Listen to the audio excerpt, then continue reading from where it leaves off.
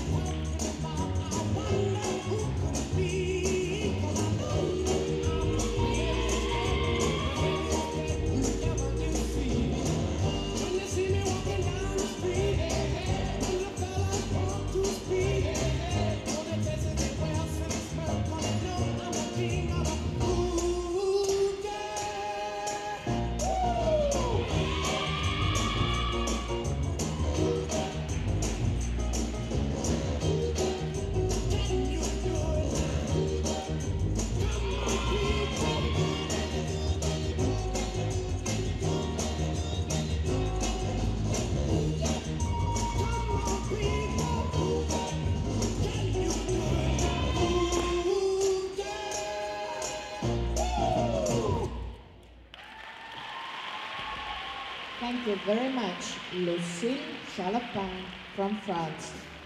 The score for Jamila Rahmatova is 14.566.